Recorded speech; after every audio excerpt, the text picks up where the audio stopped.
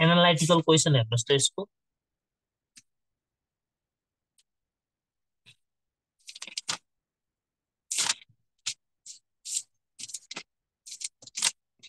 त्यो मैले एउटा क्वेसन गर्न दिएको थिएँ नि त्रिसठीको क्वेसन नम्बर सिक्स त्यो बाँकी छ है। अलिकति म भन्छु त्यसपछि गरौँला त्यो क्वेसन यो टु थाउजन्ड सेभेन्टी सिक्स ल ठिक छ त्यो पछि मैले गर्छु है। दुईवटा त्यसमा अर्को मोडेलको पनि सोधेको छ क्या। त्यही भएर त्यो पहिला यो गर्छौँ अनि त्यसपछि गरौँला है त।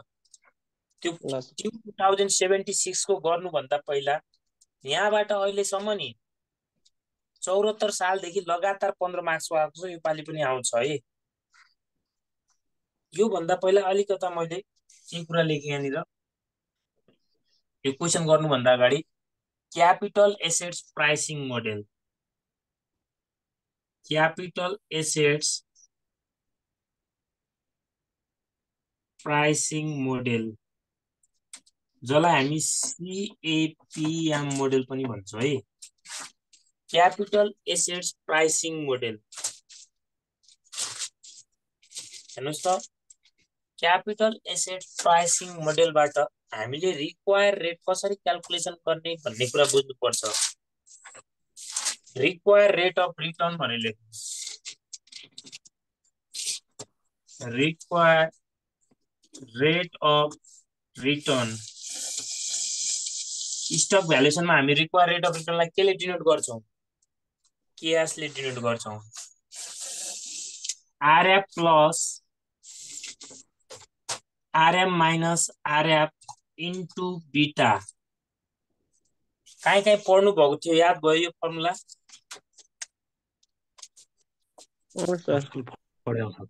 ल हो यार। कहाँ पढ्नु भएको थियो? थाहा छ? रिक्स एन्ड रिटर्नमा पढ्नु भएको थियो अझ पनि पढ्नुपर्छ यहाँ। ल। Require rate of return RF plus RM minus RF into beta हो यार। आरएफ के बराबर हो कि अलि मुनिपट्टि हो यार कहाँ बराबर भनेको? यो? ओके त्यो त्यसमा बराबर गर्नुभयो आरएफ भनेर यतापट्टि एफ चाहिँ अलिक सानो गराउनु भयो बुझ्नु भएन? के भने फर्मुलामा के त ब्राकेट भित्र आरएफ भनेर सानोमा लेख्नु भयो नि यसलाई? यतापट्टि अनि यतापट्टि फेरि आरएफ बराबरमा लेख्नु भयो उयो यस्तो formula RF plus RM minus RF हुन्छ क्या? है? आरएम माइनस आरएफ अनि ब्राकेट बन्द गर्ने इन्टु बिटा भनेको। दुई पटक आएको छ क्या आरएफ भनेको है? हो आरएफ भनेको के हो हेर्नुहोस्? रिक्स फ्री रेट भन्यो भने रिक्स फ्री रेट ट्रेजरी रेट भन्यो भने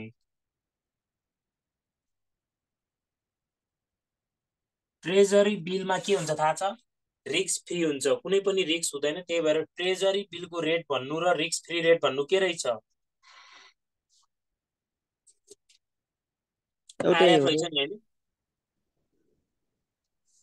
अनि आरएम भनेको रिटर्न अन मार्केट हो। आरएम भनेको के रहेछ? Return on market. बिटा भनेको के होला त? Beta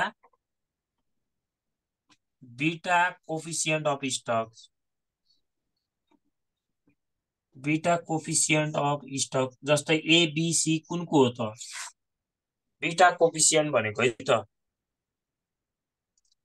अब नि तपाईँले डाइरेक्ट क्वेसनमा यस्तो पनि दिन सक्छ यो। आरएम माइनस आरएफको भ्यालु पनि दिन सक्छ डाइरेक्ट यो भनेको के होला थाहा छ?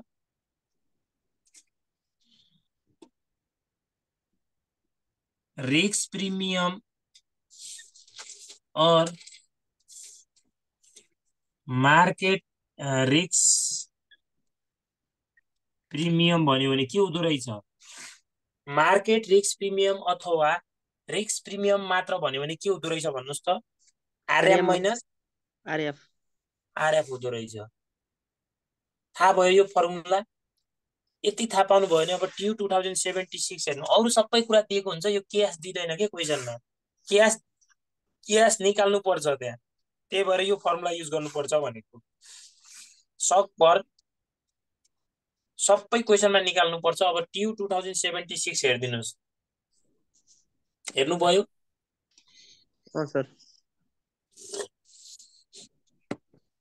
र मैले पढेँ है त क्वेसन। एज्युम द्याट रिक्स free rate is currently five percent अरे। रिक्स फ्री रेट इज करेन्टली कति अरे? Five percent five percent which is expected remain at the same level for foreseeable future अरे? यो सधैँभरि त्यही लेभलमा बढ्छ भनिरहेको छ। The rate of return on average stock in the market is fifteen percent अरे। मार्केट रिटर्न कति छ अरे आरएम पन्ध्र। Percent you are evaluating the prospect of investing in HPCF stock भनेको त्यो स्टकको नाम हो which is currently paying rupees ten per share in dividend अरे। करेन्टली कति डिभिडेन्ड दिइरहेको छ? दस रुपियाँ दिइरहेको छ। मलाई भन्नुहोस् त करेन्ट भन्यो लेटेस्ट भन्यो क्विक भन्यो जस्ट भन्यो रिसेन्टली भन्यो प्रिभियस भन्यो भने कुन डिभिडेन्ड हुन्छ? डी जिरो दिएको रहेछ। The stock has a beta coefficient of one अरे। बिटा कोफिसियन्ट स्टकको कति रहेछ? यसको भ्यालु वान रहेछ। त्यसपछि फेरि पढ्नुहोस् त क्वेसन मात्र हेर्दामा एक पेज जस्तो हो क्या अरू सबै सजिलो छ। Your analysis has reveal the new production system and aggregation marketing campaign launch by the company will boost of it earning significantly मार्केटले चाहिँ अर्निङ सिग्निफिकेन्ट गर्नको लागि चाहिँ मार्केटमा चाहिँ बुस्ट गर्छ भनिरहेको छ significantly as a result the dividend on the stock is expected to grow at twenty percent for coming two years अरे दुई वर्षमा एक र दुई वर्षमा डिभिडेन्ड कतिले बढ्छ अरे ग्रोथ कतिले हुन्छ? फर्स्ट र second year G one G two हो कि होइन? त्यसपछि फेरि हेर्नुहोस्। After this period the growth rate is expected to slow down a normal level five percent indefinitely अरे त्यसपछि भनेको दुई वर्षपछि भनेको कुन वर्ष आउँछ भन्नुहोस् त? तेस्रो वर्ष। तेस्रो वर्ष। क्वेसनमा D one sorry G one G two twenty percent दियो। त्यसपछिको G three and then after सबै कति नै हुन्छ? फाइभ पर्सेन्ट हुन्छ। भने मलाई एउटा कुरा भन्नुहोस् त यो क्वेसन नि जिरो ग्रोथ मोडेल हो कि सुपर नर्मल ग्रोथ मोडेल हो कि कन्सटेन्ट ग्रोथ मोडेल हो? सुपर नर्मल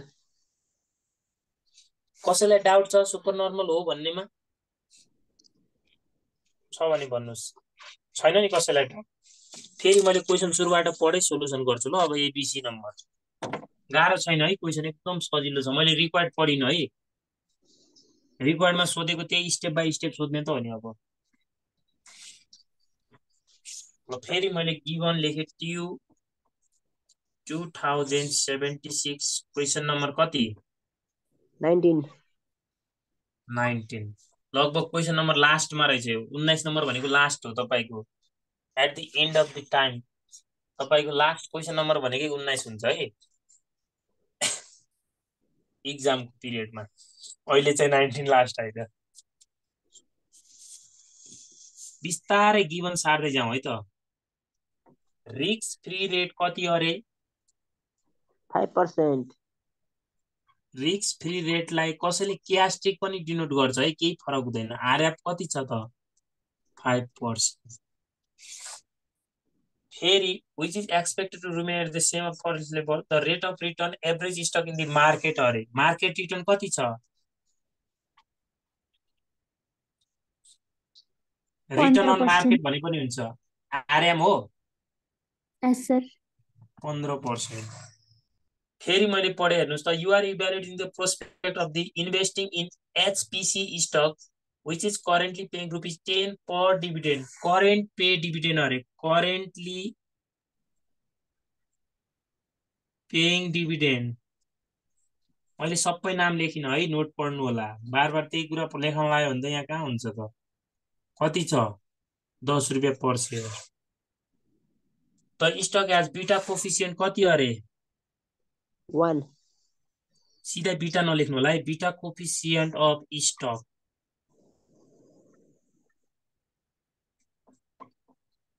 one सुरुदेखि क्लास लिनेले त यहाँबाट जसरी पनि पन्ध्र ल्याउँछ। अब एक दिन छोड्ने अर्को दिन आउनेले चाहिँ म भन्न सक्दैन।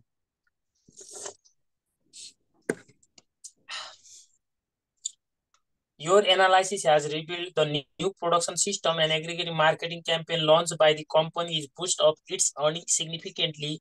As a result, the dividend on this stock is expected to grow 20% for coming two years. यसलाई यसरी लेख्ने growth rate for next two year भनेर लेखिदिने कति ट्वेन्टी पर्सेन्ट राख्दाखेरि जिरो पोइन्ट टू जिरो राख्नुपर्छ है। त्यस डियर आफ्टर भन्नु र ग्रोथ रेट थर्ड भन्नु एउटै कुरा हो कि होइन? Growth rate third year and thereafter भन्नु एउटै कुरा हो नि है। सर। जी थ्री अनि त्यसपछि सधैँ के हुन्छ? कन्सटेन्ट हुन्छ five percent for ever constant यति साह्रैको गिभन कसैलाई कन्फ्युजन छ प्लिज भनिदिनुहोस् है।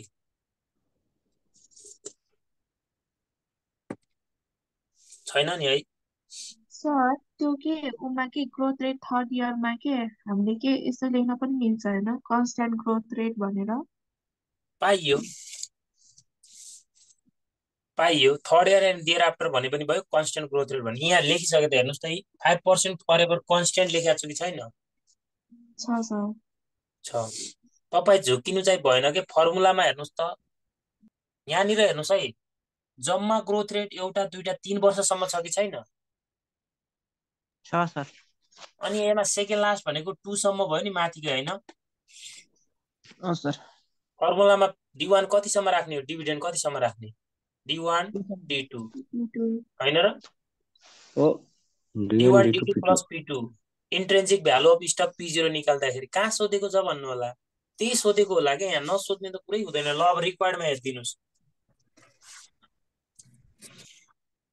ए नम्बरमा हेर्नुहोस् त। What is the require rate of return KS सोध्यो। अघिकै फर्मुलाबाट के निकाल्ने? केएस निकाल्ने। दुई नम्बर आइहाल्यो त्यति निकालेपछि। ल बी नम्बर हेर्नुहोस् फेरि। What is the expected dividend per share of HPS for next two year दुई वर्षसम्मको डिभिडेन्ड निकाल्नु छ अरे। डी वान डी टू निकालेको कति नम्बर? दुई नम्बर आयो। सकिहाल्यो सी नम्बर हेर्नुहोस् फेरि। At what price of the stock is expected to sell at end of two year अरे? टु इयरको प्राइस हामीले कहाँ निकाल्छौँ? कहाँ आउँछ होला यहाँ इन्डियरको प्राइस टु इयरको भन्नुहोस् त। टु इयरको प्राइस कहाँ आउँछ होला यहाँ? खै बोल्नै भएन हौ। वर्किङ नोटमा आउँदैन भने यहाँ आउँछ त वर्किङ नोटमा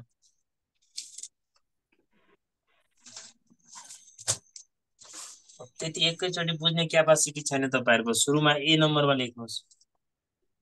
होइन सर क्वेसन हेर्दा हेर्दै पिटु पिटुको मान वर्किङ नोटमा आउँछ नि त त्यही होला सायद हो त्यही हुन्छ अब दोस्रो चोटि त निकाल्नै परेन नि calculation of require rate under के भन्ने क्यापिटल एसेट प्राइसिङ मोडेल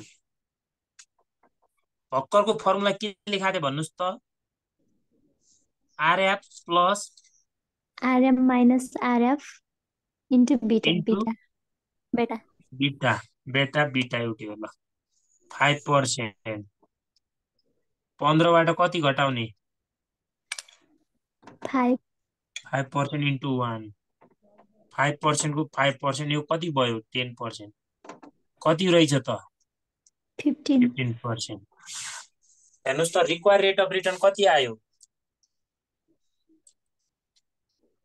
पन्ध्र पर्सेन्ट। दुई नम्बर आइसक्यो तपाईँहरूको है त। ल बी नम्बरमा हेर्नुहोस् what is the expected dividend per share भनेको छ? अब नि यसले यहाँनिर नसोधे पनि मलाई एउटा कुरा भनिदिनुहोस् त यसले डिभिडेन्ड दुई वर्षसम्मको नसोधे पनि हामीलाई वर्किङ नोटमा चाहिन्छ कि चाहिँदैन? D one D two D थ्रीसम्म निकाल्थ्यो नि त हामी यहाँ। चाहिन्छ। ल फेरि नोट लेख्नुहोस् एउटा।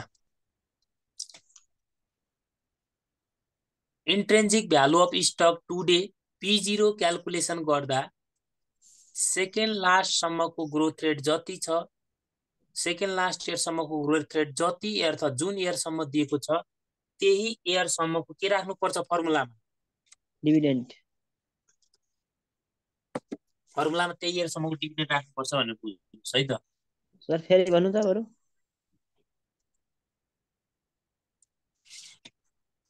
intrinsic value of stock today अथवा पी जिरो क्यालकुलेसन गर्दा सेकेन्ड लास्टसम्मको ग्रोथ रेट जुन इयरसम्मको दिएको छ।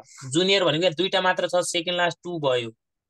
जुन इयरसम्मको दिएको छ फर्मुलामा त्यही अथवा त्यति वर्षसम्मको डिभिडेन्ड राख्नु पर्दछ भनेको। है? Calculation of expected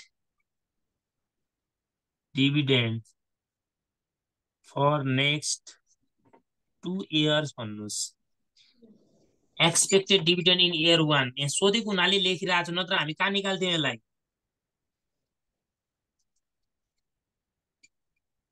कहाँ निकाल्थ्यौँ वर्किङ नोटमा वर्किङ नोटमा त D zero into one plus G हो कि होइन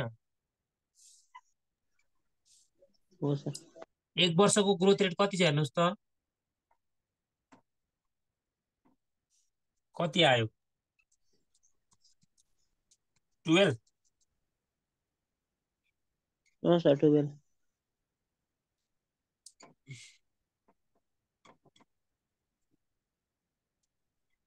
expected dividend in year two भन्नुहोस्। डी टू कसरी निकाल्ने? D one into one plus G D one बाह्र छ। दुई वर्षको ग्रोथ रेट पनि कति छ? ट्वेन्टी पर्सेन्ट छ कि छैन? छ चौध पोइन्ट कति भयो।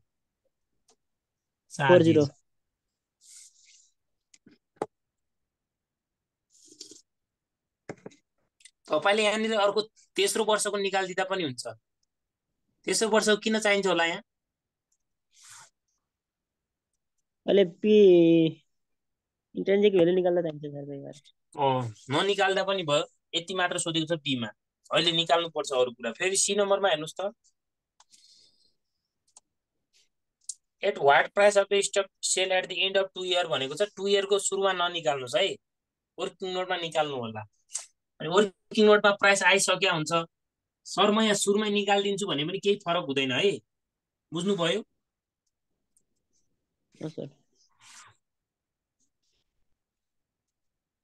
Calculation of stock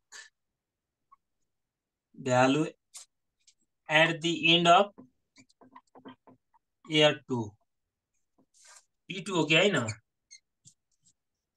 यो कुन मोडेलबाट गर्नुपर्छ P2 कन्स्टेन्ट ग्रोथ मोडेल यहाँ माथि डिभिडेन्ड नै हुन्छ टु छ भने कुन इयरमा पाउँछ डिभिडेन्ड थ्री इयरमा where expected dividend in year 3 D3 बराबर कति? D2 into 1 plus G. D2 कति छ? चौध रुपियाँ चालिस पैसा। वान प्लस ग्रोथ रेट कति कहाँको राख्नुपर्छ? थर्ड इयरको राख्नुपर्छ। कति छ थर्ड इयरमा जिरो पोइन्ट जिरो फाइभ कति आउँछ भन्नुहोस् त यो?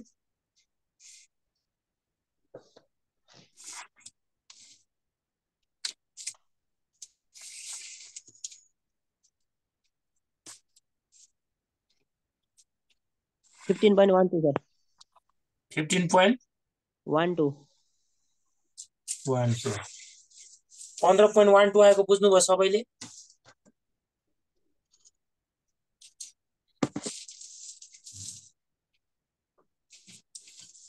के आज कति छ? पन्ध्र पर्सेन्ट जी घटाउँदा जहिले पनि कुनवाला घटाउने हो? कन्सटेन्टवाला सर ग्रोथ रेट कन्टिन्यू कति आयो त एक सय एकाउन्न पोइन्ट टू जिरो होइन सर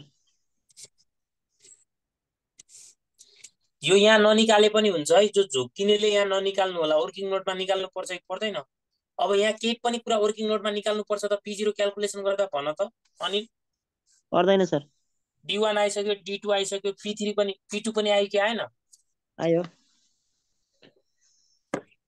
अब डी नम्बरमा हेर्नुहोस्। What is the fair value of the stock today भनेको छ। फेयर भ्यालु भनोस् कि प्रेजेन्ट भ्यालु भनोस् जे भन्यो भने के निकाल्ने हो त्यो? Intrinsic P zero P zero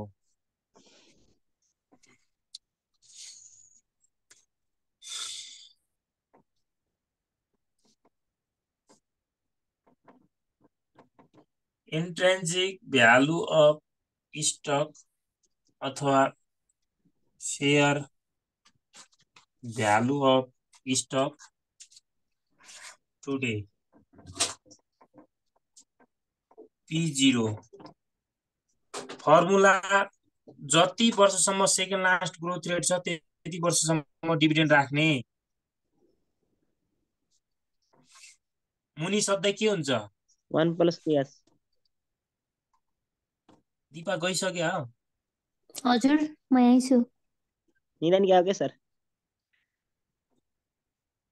निद आउँछन् पनि होला हो यिनीहरू कोही कोही त।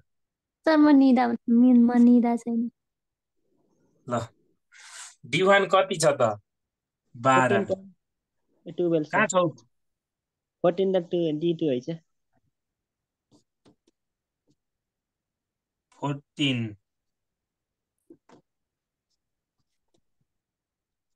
One hundred fifty one point two zero one plus zero point one five two ल यसो स्टेप स्टेप भन्दै जानुहोस् आन्सर बाह्रलाई वान पोइन्ट वान फाइभले भाग गर्दा हुन्छ हाम्रो फिक्स टूमा राख्दा पनि हुन्छ ल calculator ten point four three भयो।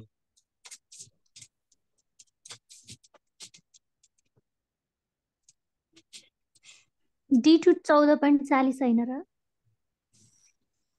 चौध पोइन्ट ए चौध हो भने मैले पनि हेरिनँ क्या।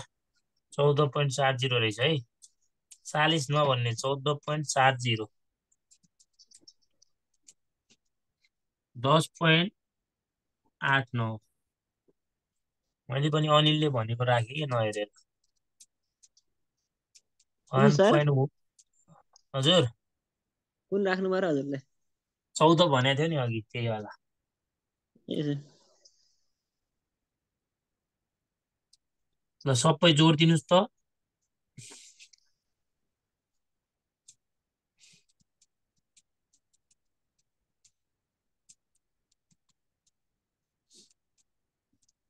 एक सय पैँतिस पोइन्ट छ पाँच हो त्यति हो यो कसको भन्दा सानो हुनुपर्छ पी भन्दा सानो हुनुपर्छ नि। पी भन्दा ठुलो आयो भने रङ हुन्छ है तपाईँले गरेको।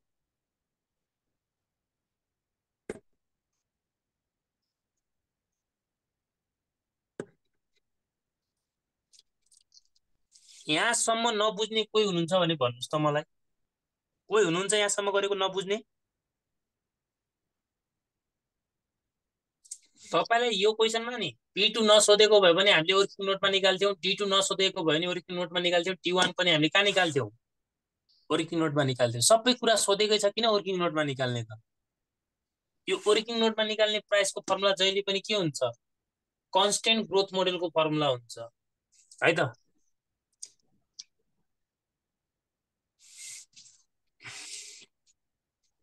त्यसपछि के सोधेको छ हेर्नुहोस् त।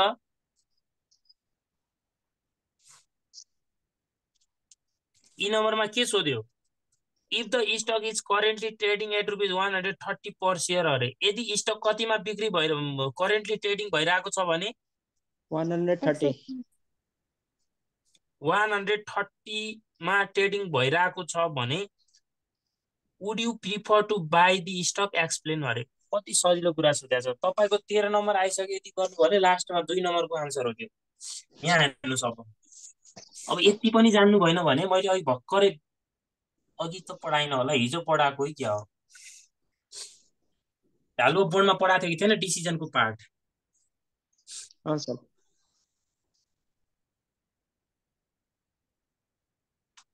गिभन प्राइस भनेको मार्केट प्राइस। कति कति दिएको छ क्वेसनमा? One hundred thirty. Calculated P zero कति निकाल्नु भयो तपाईँले? क्यालकुलेटेड प्राइस जहिले पनि पी जिरो आजको मूल्य हेर्नुपर्छ नि फेरि एयर टूको हेर्नु होला र बर्बाद होला है। कति छ क्यालकुलेटेड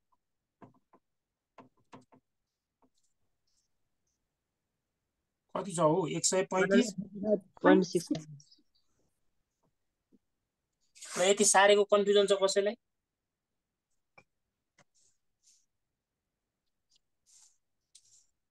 मैले जसलाई सोध्छु उसले भन्नु होला गोमती भट्टले भन्नुहुन्छ हामीले डिसिजन दिँदा जहिले पनि कुन प्राइसलाई हेर्नुपर्छ भन्नुहोस् त। हुनुहुन्छ यहाँ? मार्केट प्राइस मार्केट प्राइस अथवा कुन प्राइस गिभन प्राइसलाई हेर्ने। ल भनिदिनुहोस् अब। गिभन प्राइस ठुलो भयो भने अथवा मार्केट प्राइस ठुलो भएपछि किन्छौँ कि सानो भएपछि किन्छौँ हामीले? सानो भयो। अब यहाँ के छ हेर्नुहोस् त। मार्केट प्राइस सानो। सानो छ ल ठिक छ तपाईँ भयो तपाईँले जान्नुभयो। र दिपाले भन अब यहाँ मार्केटमा प्राइस सानो हुनु भनेको के हुनु हो यो? अन्डर भ्यालु हो कि ओभर भ्यालुड हो? अन्डर भ्यालु अन्डर भ्यालुड भयो भने के गर्छ त हामीले अब? किन्छौँ होइन? ल जाँचमा यो पनि लेख्ने होइन कि तपाईँले अहिले बुझाउनुको लागि मात्र लेखेको। ल लेख्नुहोस् आन्सर। दुई नम्बरको हो कि त्यो लास्टमा? मार्केट प्राइस ब्राकेटमा गिभन प्राइस भनेर लेख्नुहोस् अथवा गिभन प्राइस अनि ब्राकेटमा मार्केट प्राइस भनेर लेख्नुहोस् एउटै कुरा त होइन given price ब्राकेटमा market price is lower than calculated price. ब्राकेटमा P zero लेख्नुहोस् है। Calculated price. Calculated price. That is sorry मैले भनेकै गिभन प्राइस लोयर देन भनिसकेँ होइन लोयर देन क्यालकुलेटेड प्राइस ब्राकेटमा पी जिरो द्याट इज भनेर ब्राकेट खोल्नु that is one hundred thirteen thirty less than thirty one thirty-five point six five. It is it is undervalued. Under valued एउटैमा है under valued full stop लिनुहोस्। So so an investor so an investor के गर्छ होला? किन्छ होला कि बेच्छ होला? So an investor buy buy B U Y buy भनेको है फेरि बियुआई बाई लेख्नु होला। बियुआई बाई अथवा पर्चेज पर्चेज दि स्टक यहाँ बोन्ड होइन है के लेख्ने? स्टक एसटिओसिके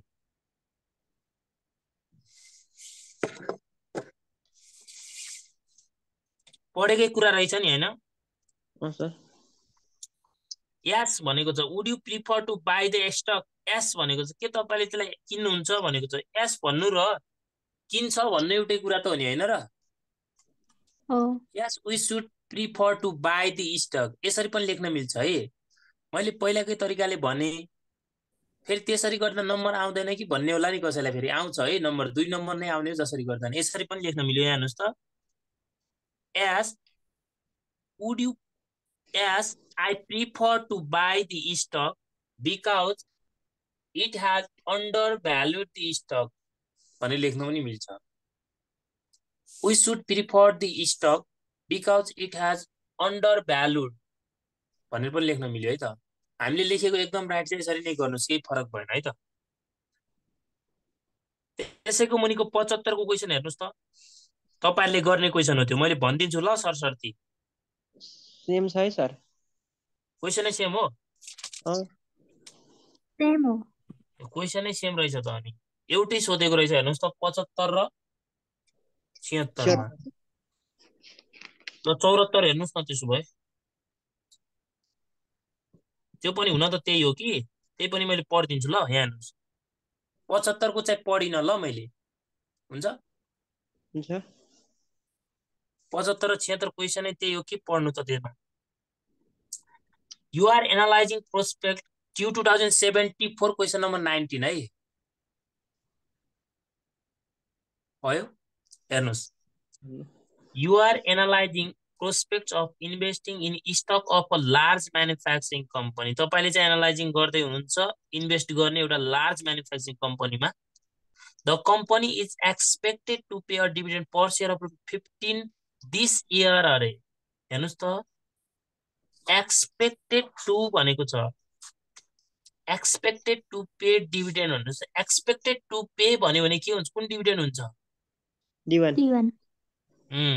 डिवान हुन्छ है।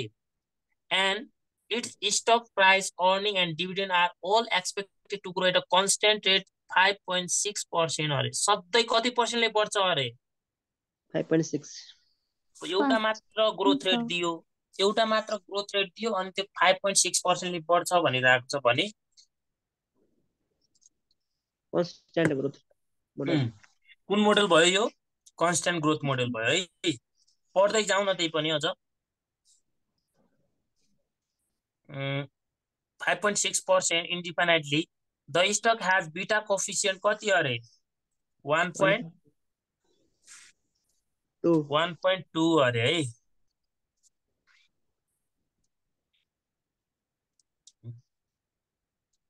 one point two beta coefficient भयो. It is currently price at rupees one hundred fifty five अरे करेन्टली प्राइस भनेको क्वेसनमा दिएको गिभन प्राइस अथवा मार्केट प्राइस हो कि होइन?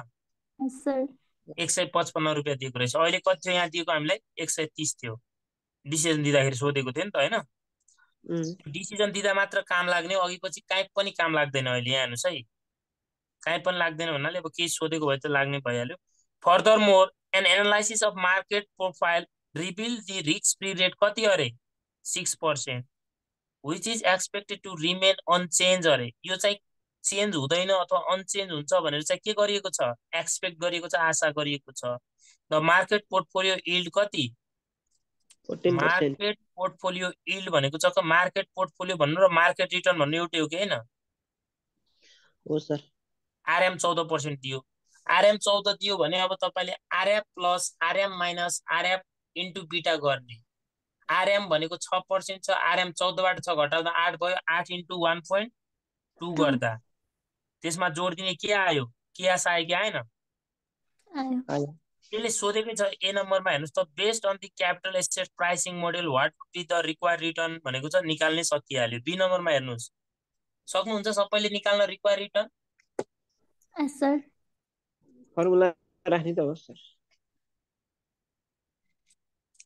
फर्मुला राख्ने हो। बी नम्बरमा हेर्नुहोस् त what is the intrinsic value per share of the company stock do you think the stock is fairly price in the market अरे। अब तपाईँले पहिला पी जिरो निकाल्ने। पी जिरो निकाल्दाखेरि चाहिँ अब यो चाहिँ किन्नको लागि बेस्ट छ कि बेच्नको लागि छ भनेर डिसिजन दिने कि अहिलेको जस्तै? है। क्वेसनमा तपाईँलाई एक सय पचपन्न दिएको रहेछ। आन्सर एक सय पचास आएको छ। एक सय पचास आयो भने क्वेसनमा दिएको मार्केट प्राइस भनेको बढी भयो कि भएन यसमा पनि? मार्केटमा प्राइस बढी भयो भने के गर्नुपर्छ होला यहाँ अब? यहाँ किनेको थियो अब के गर्ने अब यसमा? मार्केटमा बढी भएपछि बेच्छौँ होला नि होइन? अब कति आउँछ त्यही अनुसार गर्ने है त? नसक्ने कोही हुनुहुन्छ भने म गरिदिन्छु है? सक्नुहुन्छ? सक्नुहुन्छ। सी नम्बरमा हेर्नुहोस्। Now suppose require rate of return is twelve percent अरे। रिक्वायर रेट अफ रिटर्न कति अरे अब? पहिला जति निकाल्नु भएको थियो मतलब छैन। अब क्यास कति अरे? टुवेल्भ पर्सेन्ट बाह्र पर्सेन्ट पुरानो बिर्सिदिनुहोस् है अब। पुरानो के थियो मतलब भएन। अब नयाँ कति? बाह्र पर्सेन्ट भयो। भने what would be the intrinsic value of the share of the stock do you think the stock is good buy in this case assume the share is stock do you think price of stage यसमा पनि पैसा कति नै भयो अरे एक सय पचपन्न नै भयो तर रिक्वायर रेट रिटर्न मात्र कतिले चेन्ज भयो? बाह्र पर्सेन्टले भयो भने अझ के किन्नमा यो उपयुक्त अथवा राम्रो छ त भने डिसिजन दिने फेरि। अब बढी आयो भने के गर्नुपर्छ फेरि? हामीले क्वेसनमा दिएको मार्केट प्राइस भनेको एक सय पचपन्न छ। निकालेको प्राइस एक सय पचपन्न भन्दा मार्केटमा प्राइस धेरै भयो भने के गर्ने? बेच्ने कम भयो भने के गर्ने? किन्ने। किन्ने। कम धेरै कसलाई हेरेर भन्ने एउटा क्यालकुलेटेड हुन्छ एउटा गिभन हुन्छ कि हुँदैन। दुइटै प्राइसलाई नहेर्नु होला है तिरमिर हुन्छ फेरि। एउटालाई मात्र हेर्ने क्वेसनमा दिएको गिभन प्राइस भनेको मार्केट प्राइसलाई मात्र हेर्ने। ल फेरि हेर्नुहोस् अब अर्को। D number in addition to change part C अरे। अब पार्ट सीलाई चेन्ज गर्नुहोस् रे। Suppose the dividend is expected to grow at a ten percent per year at the first three year अरे। अब त्यो पार्ट सीलाई चाहिँ चेन्ज गरेर ग्रोथ रेट एक दुई तिन वर्षमा चाहिँ कति हुन्छ अरे? जी वान टू थ्री कति हुन्छ? टेन पर्सेन्ट रे and thereafter growth rate will remain कति? त्यसपछि जी फोर कति हुन्छ? G four and then after भनेको फाइभ पोइन्ट सिक्स पर्सेन्ट हुँदा what should be the intrinsic value of stock फेरि पी जिरो कति हुन्छ निकाल्नु सर लास्ट दिएको डी नम्बर भनेको सुपर नर्मल ग्रोथ मोडल हो कि होइन? हो सर। हो। मलाई एउटा कुरा भन्नुहोस् त यसमा क्यास कति राख्ने होला? अनिलले नभन अरूले भन्नुहुन्छ अनिल नभन। अरू भन्नुहोस् त कति राख्ने होला। बाह्र पर्सेन्ट। किन बाह्र पर्सेन्ट? किनकि रिमेन अलग सबै कुरा के को राख भनिरहेको छ त्यसले? पार्ट सी को राख भनिरहेको छ। पार्ट सी भनेको हुनाले त्यहाँनिर सी को राख्ने हो। यदि त्यसले केही पनि भनेको थिएन भने सुरुकै कति राख्थ्यौँ हामी? पन्ध्र पर्सेन्ट राख्थ्यौँ। सरी है पन्ध्र पर्सेन्ट आउँछ र? पन्ध्र पोइन्ट छ आएको छ है। पन्ध्र पोइन्ट छ। कति आउँछ त्यो हामीले निकालेकै छैनौँ नि। पन्ध्र पोइन्ट छ आउँदो रहेछ। गर्न सक्नुहुन्छ यो क्वेसन? चौरात्तर पचहत्तर छिहत्तर सालमा त एउटै रहेछ नि टाइप अब सतहत्तर र अठहत्तरको बाँकी रह्यो। त्यो क्वेसन आज गर्दिनँ मैले। भोलि गर्छु। यो तपाईँलाई होमवर्क भयो है। भोलि जान्नु भएन भने नि मलाई सोध्नु होला है। ल सर। भोलि जान्नु भएन भने मलाई सोध्नु होला। अनि त्यसपछि अब अर्को क्वेसन हेर्नुहोस्। T U two thousand sixty three question number six हेर्नुहोस्। ल सर होइन बाँकी छ। क्वेसन नम्बर सिक्स हेर्नुहोस् ल। यो सिक्सको पार्ट त अब यसमा पनि आधा क्वेसन चाहिँ हुन्छ। आधा मात्र हुन्छ है यसमा अहिले। सी नम्बरको पढ्नै बाँकी छ क्या यसमा। यो ट्युमा टेन टाइम सोधेको क्वेसन हो।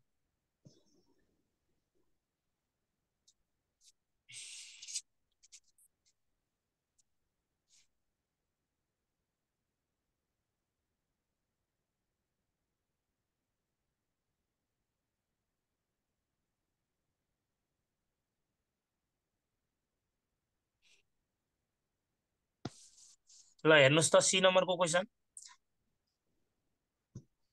sorry T U two thousand sixty three question number six है? भेटाउनु भयो मैले होमवर्क दिएको क्वेसन थिएँ नि। ल हेरिदिनुहोस्।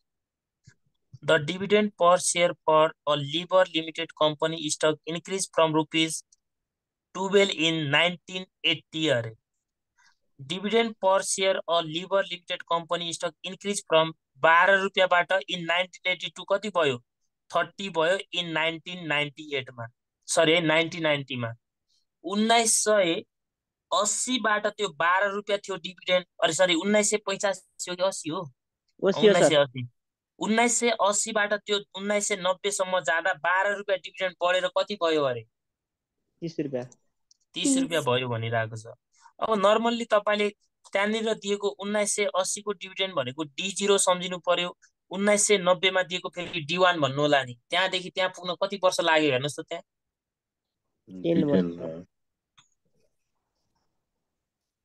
उन्नाइस सय त्यहाँनिर एकासी भनेको हामी फेरि के गर्न पाउँथ्यौँ? डी जिरो र डी वान लेख्न पाउँथ्यौँ नि होइन? पाउँथ्यौँ कि नै? उन्नाइस सय असीलाई डी जिरो भन्नु पर्यो न पाइयो भने के अहिले सुन्नुहोस् न। त्यसलाई डी जिरो भन्न पाइयो अर्कोलाई डी वान भन्न पाइएन क्या। किन पाइएन? ग्याप कति छ त्यहाँ? टेन इयर दस? हो। भनेको त्यो नाइन्टी नाइन्टीको डिभिजन भनेको डी टेन हो कि होइन? हो। त्यहाँनिर मानव दुई हजार भएको भए कति हुन्थ्यो होला? ट्वेन्टी डी ट्वेन्टी हुन्थ्यो। The required rate of return कति अरे? Twenty percent. क्यास कति दियो? ट्वेन्टी पर्सेन्ट दियो dividend will continue to grow at a same rate period ninety eighty to ninety ninety dividend चाहिँ सधैँ एउटै रेटले बढिरहेको छ उन्नाइस सय असीदेखि उन्नाइस सय नब्बे भनेपछि जी निकाल्न सक्नुहुन्छ होला नि यहाँमा हेर्नुहोस् त यसरी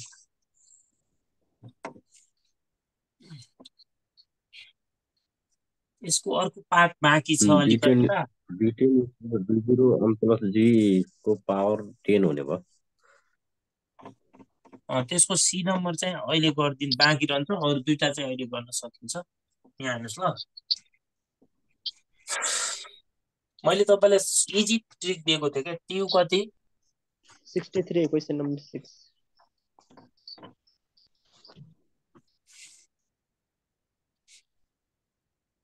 हामीलाई डिभिडेन्ड इन इयर नाइन्टिन एट्टीको दिएको छ। रुपिस कति दिएको छ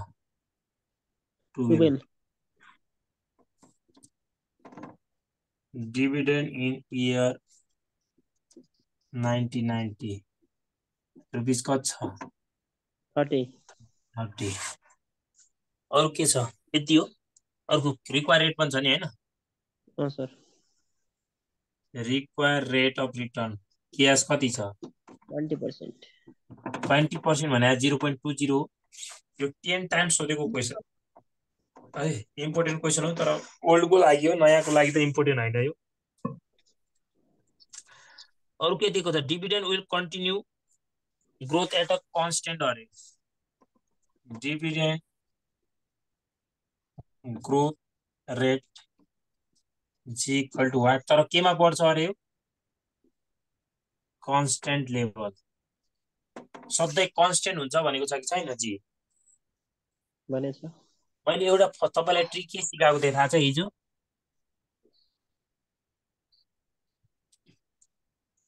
High dividend lower dividend one n minus one भनेको थियो नि होइन?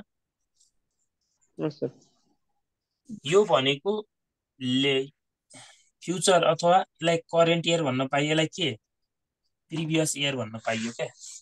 करेन्ट इयर भनेको अब यहाँनिर फेरि यो दुइटामा करेन्ट भनेको उन्नाइस सय नब्बे हुन्छ नि होइन?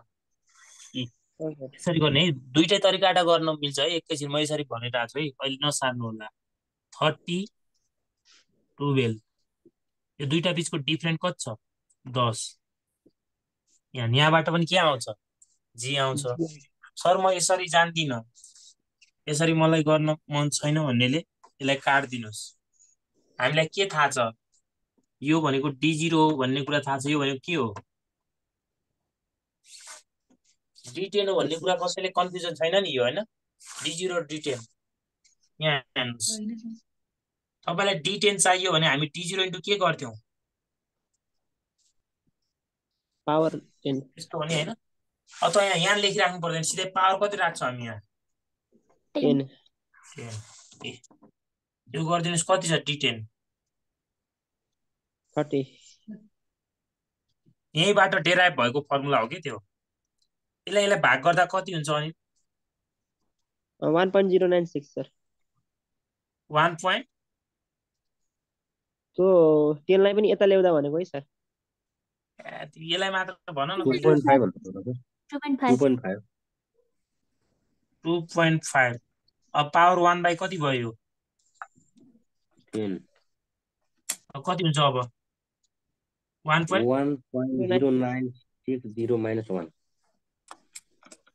चारवटा भन्नुहोस्।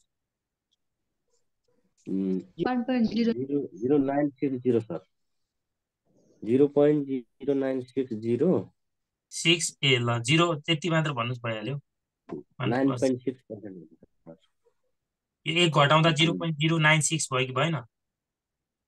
नाइन पोइन्ट सिक्स हुन्छ। नाइन पोइन्ट कति रहेछ त? सिक्स पर्सेन्ट यसरी गर्दा अनि कति नै आउने हो त? नाइन पोइन्ट सिक्स जी निकालेको बुझ्नुभयो सबैजनाले? नबुझ्ने कोही हुनुहुन्छ? बुझ्यो नि है। होइन। बुझ्यो सर। को होइन थियो? के भयो? सर अनि डी वान किनलाई मान्ने? डी वान कसरी के चाहिने हो यहाँ? कहाँ चाहिन्छ डी वान अरे नम्बरमा। डी वान निकाल्न सकिहालिन्छ नि हो अब। डी वान भनेको D zero into one plus G गर न आइहाल्यो त। पी जिरो निकाल्न पर्यो अनि डी वान आउँदैन भने अब डी जिरो छँदैछ। ग्रोथ रेट पनि। छँदैछ। आउँछ त अब। आउँदैन अनिल। जी आइहाल्यो होइन। कस्ट टाइम छ फरक G into one plus G भइहाल्यो त। के यस्तो डी वान भनेको? के भयो यस्तो अब? वान प्लस जी आएन। नाइन पोइन्ट सिक्स अँ यस सर के भएको यार? Zero point zero nine six ल बी नम्बरमा हेर बी नम्बरमा calculate the intrinsic value of stock सोध्यो इन्ट्रेन्सिक भ्यालु अफ स्टकको फर्मुला पारो त्रिपाठीले भन त मलाई। इन्ट्रेन्सिक भ्यालु अफ स्टकको फर्मुला कसरी निकाल्ने यसमा? पी वान कस पी जिरो कसरी निकाल्ने?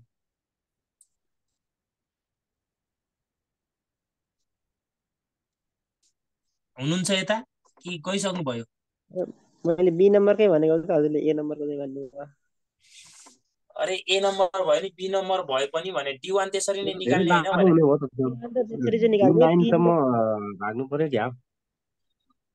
के भयो हो के बोल्दै हुनुहुन्छ यार? के भयो? धेरै नबुझ्नुहोस् क्या तपाईँहरू उल्टा उल्टा बुझ्दै हुनुहुन्छ सेकेन्ड लास्टसम्म के भयो?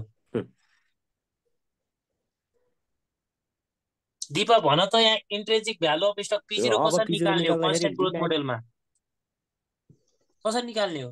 D1 upon ks minus g गर्ने हो d1 by by ks minus g के भइरहेको छ त अनि? के सबै त छ त क्वेसनमा दिएको। D1 निकाल्न सकिँदैन अनि यसमा?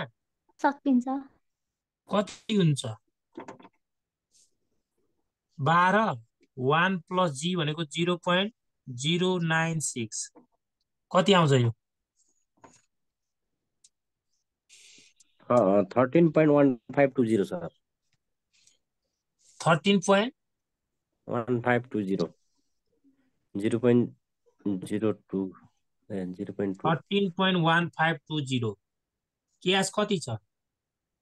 Zero point zero two minus a zero point two minus zero point zero nine six zero point one zero. Four zero कति आयो? Two zero. Minus sorry.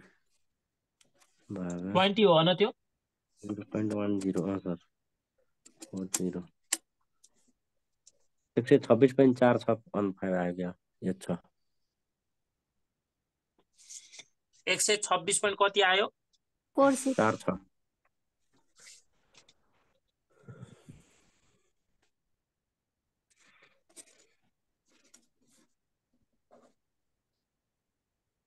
कसरी आन्सर मिलेन त हौ? कति आज एन्सर त मिलेन sir. Intrinsic value of stock एउटा कुरा यहाँ ल हेर्नुहोस् यहाँ हेर्नुहोस् है। यहाँनिर के मान्ने हुन्छ एयरको जस्तै हामीलाई यहाँनिर एउटा उन्नाइस सय नब्बे दिएको छ अर्को के छ? उन्नाइस सय असी छ कि छैन? अब यसमा अलिकता कन्फ्लिक्ट चाहिँ हुन्छ क्या? किन कन्फ्लिक्ट हुन्छ भन्नुहोस् न। हामीलाई अगाडि यसलाई डी जिरो भनेर डिनोट गरेका छौँ। अनि फेरि यहाँनिर अब यसले चाहिँ उन्नाइस सय नब्बेलाई डी जिरो मानेर हिसाब गरेको छ क्या। उन्नाइस सय नब्बेलाई डी जिरो मानेर गर्नुहोस् न आन्सर आउँछ। ल नोटमा लेख्नुहोस् त त्यहाँनिर। यस्तो क्वेसन दियो भने नि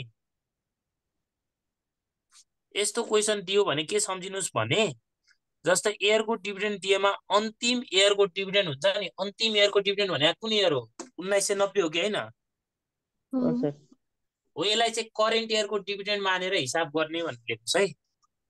करेन्ट इयरको डिभिडेन्ड मानेर हिसाब गर्ने। अब यसरी आएको छ खासमा यहाँनिर higher dividend divided lower dividend formula अघि जुन गरेको थियो नि जी निकाल्ने फर्मुला हायर डिभिडेन्ड डिभाइडेड के गरेको थियो भन्नुहोस् त?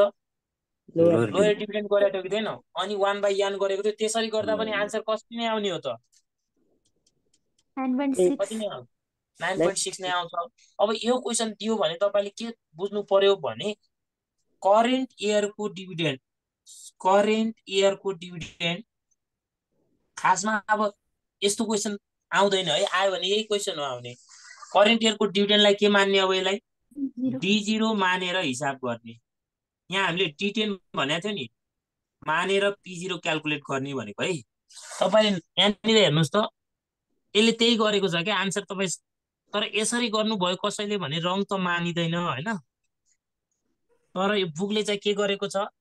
यसरी गरेको छ। हेर्नुहोस् त one point zero nine six into कति? Thirty two point eight eight हुन्छ। यहाँ पनि थर्टी टू पोइन्ट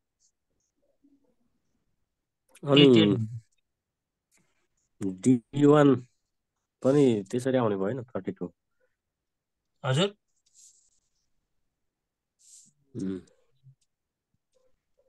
के बुझ्नुभयो यहाँनिर भन्नुहोस् त? अब यो क्वेसन मात्र त्यस्तो खासमा नहुनु पर्ने हो होइन? पास्ट र प्रिजेन्टलाई हामीले डी जिरो मान्ने भनेर पढाएको थियौँ सर। दुइटै पास्ट र प्रिजेन्ट छ होइन? पास्ट र प्रेजेन्ट त अब यहाँ यस्तो हो क्या? दुइटै खासमा त दुइटै के हो यो? दुइटै पास्ट होइन अहिले चलेको अनुसार त? अहिले त चले अनुसार त पास्टै हो होइन? त्यो पिरियड अनुसारको हो पिरियड अनुसारको मान्ने है। तर यसमा चाहिँ तपाईँले यसलाई डी जिरो मानेर यसरी जी निकाल्नु भयो भने पनि राइट हुन्छ। तर अब एउटा नोट चाहिँ के सम्झिनुहोस् भने यसरी दुईवटा एयरको डिभिडेन्ड दियो भने डी वान भनेको जहिले पनि कुन हुन्छ अरे? भर्खरको यो प्रिजेन्टवाला सम्झिनु होला क्या। है पास्ट धेरै पास्टको नसम्झिने कुन सम्झिने? दुईवटा दिएको हुन्छ त्यो मध्ये प्रिजेन्ट सम्झिने। दुईटा मध्ये प्रिजेन्ट कुन हो त? यो। हो। अहिलेसम्म काहीँ पनि थियो त यस्तो हामीले नोट पढेको काहीँ मिस्टेक छ त?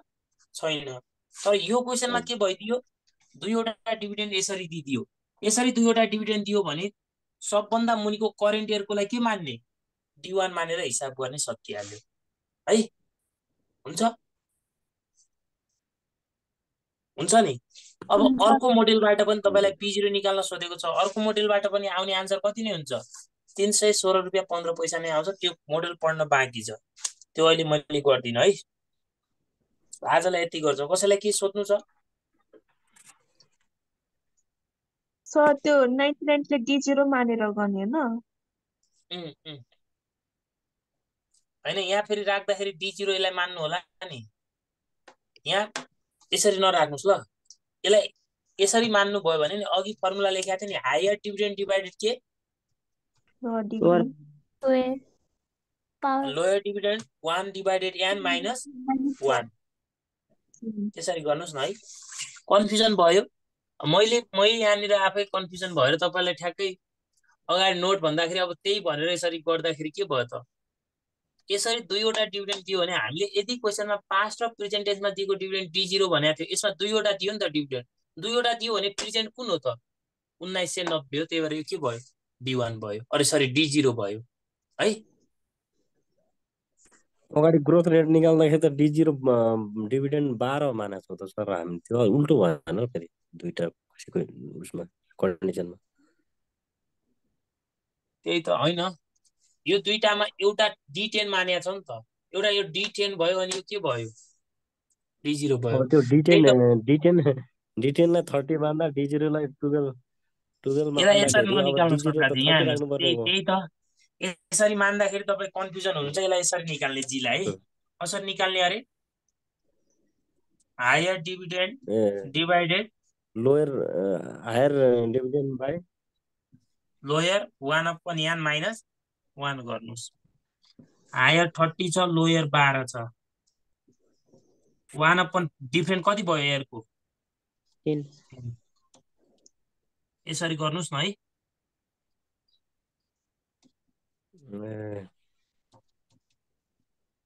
केही फरक हुँदैन तपाईँले त्यसरी निकाल्दा पनि यहाँ चाहिँ मान्दाखेरि लास्टमा पी जिरो निकाल्दा चाहिँ के मान्नु पर्यो? यसलाई डी वान मान्नु पर्यो भनेको क्या। अघिको त्यसरी निकाल्दा पनि गलत हुँदैन है। गलत हुँदैन। फेरि यसलाई लास्टमा मान्दाखेरि के मान्ने? मान्ने कुरा त हो नि मान्नु पर्यो नि त एजम्सन है? दुईवटा डिभिडेन्ड दिएको हुनाले एउटा पास छ अर्को प्रिजेन्ट छ। यो पनि अहिलेको इयर हेर्ने हो भने प्रिज के नै हो? पास्ट नै हो। तर यो दुइटा। मध्ये त यो के हो त? प्रिजेन्ट हो नि त होइन? नोटमा हामीले के लेखाएको थियो? पास्ट र प्रेजेन्ट टेन्समा दिएको डिभिडेन्ड डी जिरो हुन्छ भनेर पढाएको थियो होइन। त्यही भएर डिपेन्ड्स अन सिचुएसन क्या।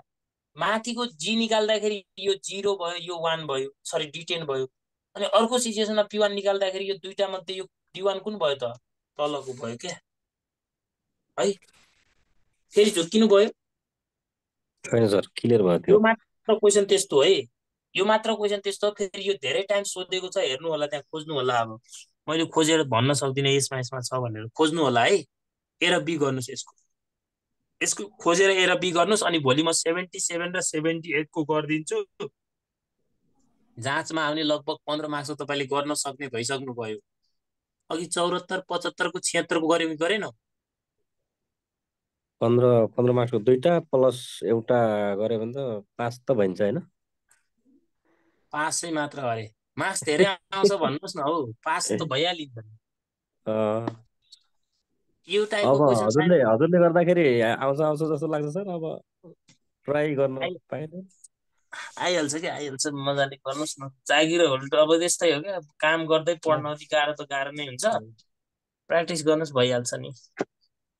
पास चाहिँ ढुक्क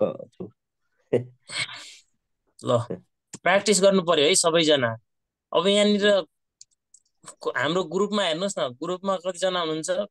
क्लास कहिले दसजना। लेख्नु भएको छ कहिले बाह्रजना। क्लास पनि अब के भन्नु? अब सकिसक्यो त्यही भएर पनि नलिनु भएको हो कि टाइम नभ्याएर ल ठिक छ होइन? प्र्याक्टिस चाहिँ रेगुलर गर्नुहोस्। अनि भइहाल्छ केही त्यस्तो आत्तिनु पर्दैन। ल हुन्छ ल। इन्ड गरेँ है त मैले meeting good night sir good night good night dream